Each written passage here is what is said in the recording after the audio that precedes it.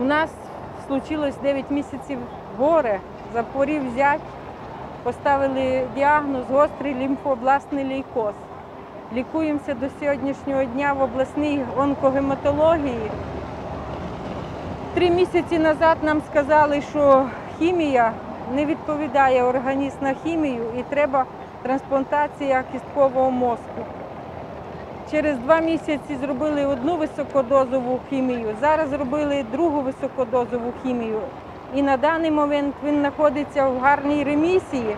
Дочка з ним літала в Турцію, зробили всі обстеження, взяли базу даних донорства, шукають донора його. Тепер потрібні кошти. За ці 9 місяців наша родина, і всі допомога людей витратили майже 800 тисяч гривень. На даний момент мусимо прийти сюди і просити через те, що йому 28 років. Він спортсмен, закінчив КПІ. Один рік тільки встиг пропрацювати.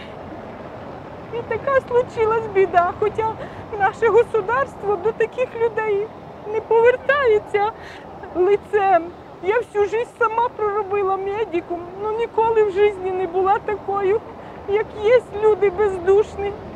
Я 30 років пропрацювала.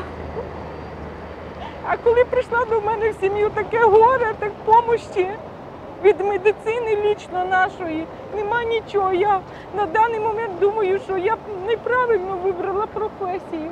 Потрібно 110 тисяч доларів. Це турецька фірма. Вже турки готові взяти навіть по гарантійному листу, але наша держава навіть папірець в чотири строчки, щоб я, проробивши стільки год, плативши налоги, вони не можуть дати папірця, що готові взяти турки, чужа країна готова взяти без грошей, що можуть да, його зробити трансплантацію, потім частково виплатить государство гроші. Ну, на жаль, і такої бумаги не дає. З нами в одній палаті лежав Андрій, який помер на наших очах. Я його бачила в четвер, а в суботу його не стало. Через те ми тут, щоб може ці чиновники хоча б по одному тисячі доларів дали всі, що тут є, і хватило б на цих людей.